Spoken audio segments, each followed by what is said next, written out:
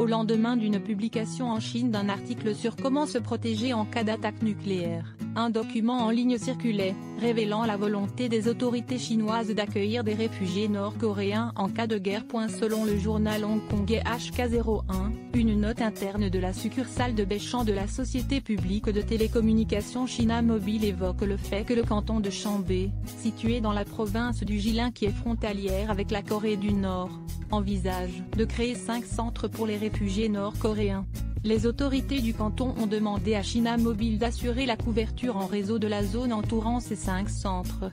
La société a achevé de tester les signaux de télécommunication le 2 décembre. Le canton de Chambé, également connu sous le nom du canton autonome coréen de Chambé, est placé sous l'administration de la ville de Béchamp.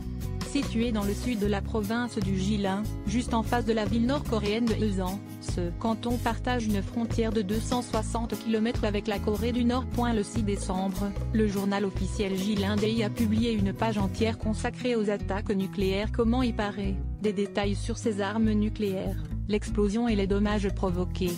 Ni le gouvernement provincial du Jilin ni Jeune Chuan, porte-parole du ministère des Affaires étrangères, n'ont confirmé le fait que l'article viserait à préparer les Chinois à une explosion nucléaire dans la péninsule coréenne. Toutefois, cette publication coïncidant avec la série d'essais nucléaires de la Corée du Nord a amené de nombreuses personnes à envisager un bombardement imminent. Alors que la tension montait d'un cran récemment entre la Corée du Nord et les États-Unis, les relations entre la Chine et la Corée du Nord se sont également dégradées.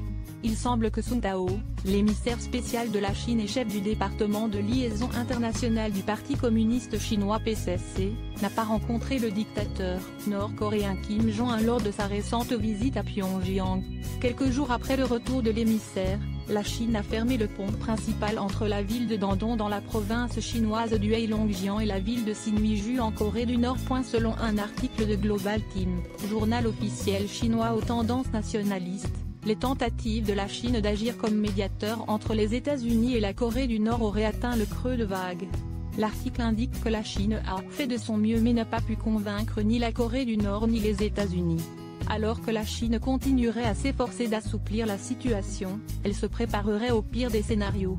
Récemment, des rapports sur les activités militaires chinoises ont également commencé à circuler.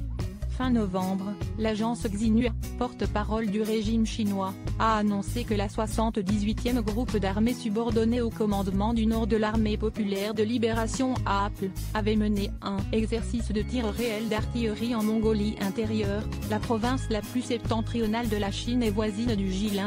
Franc Frangoire aussi.